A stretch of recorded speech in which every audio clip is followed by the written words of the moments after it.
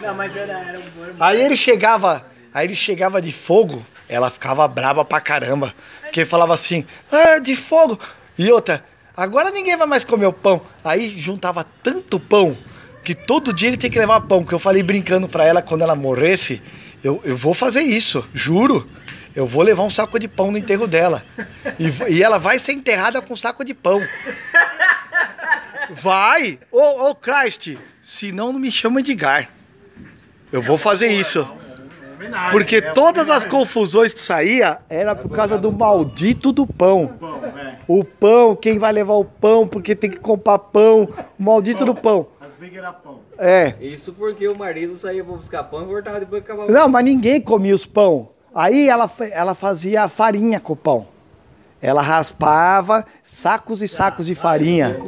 Porque ninguém comia. Aí uma vez saiu uma puta brigaiada ela e o Celso, porque ela falou pra ele passar pra comprar pão, mas já tinha pão. Aí, mas ela foi. Ela mandou dois, três comprar pão. Aí todo mundo comprou, mas o Celso não comprou, lembra? Aí ela foi no quarto e falou: cadê o pão? Ele- aí, eu- aí ele falou: mas tem pão aí, eu vi que comprou pão.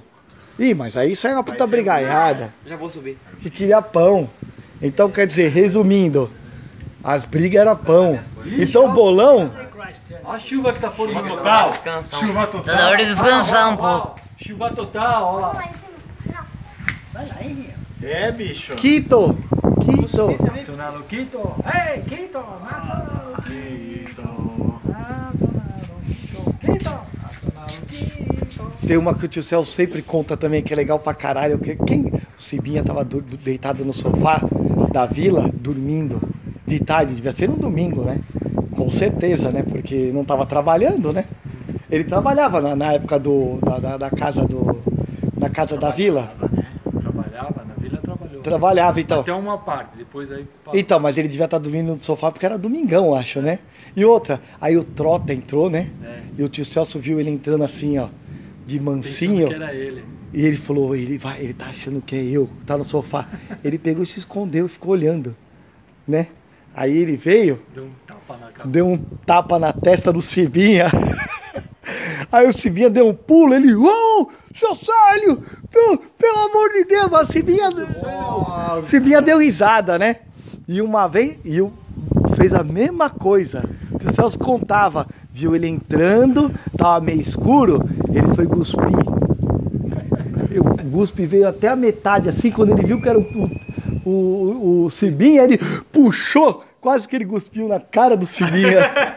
ah, mas aí eu fiquei pensando, se fosse o tio Celso, ele ia cuspir na cara, né? Cara, tinha, tinha, tinha aquela história é, do, que o cara foi avisar o Cibinha. Ô, você não sabe. Teu filho tá com, acho que com o teu carro. Não, fez a curva que foi. gi- Entrando aqui que nem um... Que foi Deus. Não Não, sei como ele não, não capotou foi o Deus. carro. O cara falou, ó, ele entrou num pau, que foi Deus que segurou o carro. Com duas rodas só, cara. É. Aí ele ficou te- esperando o tio Celso chegar, né? Aí o tio Celso chegou, puta, e aí? Tava com, com o cano no meio, o Fuscão, tira o cano. Mas tá quente, tira o cano, quente, quente mesmo. Era o cadrão? ele tirar. Era cadrão? Quando ele ficava bravo, Fez ele tirar os parafusos. na Quente. assim, quente. ele, quando ele ficava bravo, ele ficava bravo. Porque ele não via que ele trocava o escapamento dele? Não, porque ele era, saía as quatro num só e dava a volta e aquele Grand Prix, né? Aí Era Grand E Prix. aquele ronquinho do Puma. Era. Grand Prix ou Você Cadrão? podia tirar ele e colocar o cano no meio direto. Mas era Grand Prix ou, ou, ou, pra- ou Cadrão? Grand Prix, era Grand Prix. O Cadrão é o que tinha um ronco O mais. Cadrão, é, tem o Cadrão e o Grand Prix, os dois escapamentos eram legal, né? Só fazia um escapamento, cada dá a volta, saía dois canos. Nossa, o tio tudo. Celso tinha história também. hein? É, vixe Maria. Tá, né? E uma que ele conta, Celso, e uma né? que ele conta, e uma que ele contava sempre, é que ele tava chegando, e aí ele olhou e falou, ah, que peraí, parece o Celinho. Tinha um negrão brigando com o Celinho, arrumando uma confusão com o Celinho, batendo boca. Ele pegou o ferro do macaco e foi ver qual é que era. Aí o negrão olhou pra ele e falou, ah, sério, você deu um, tipo, sai daqui, não é, não é com você? Só que ele não viu que ele tava com o ferro. Aí ele falou, não, é comigo sim. Pegou e deu, a hora que deu, o negão botou o braço assim, quebrou o braço do cara. Puta que...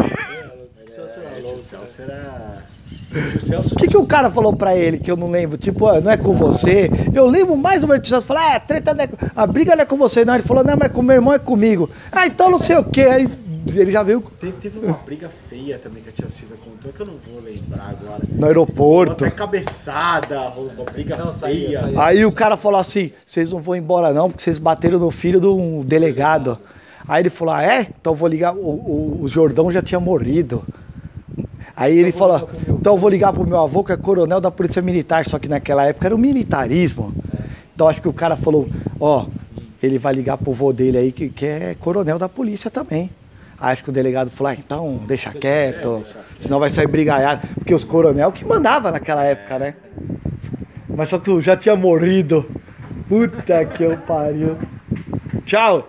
Tchau. Não, tchau. Tchau, tchau, Tchau. tchau.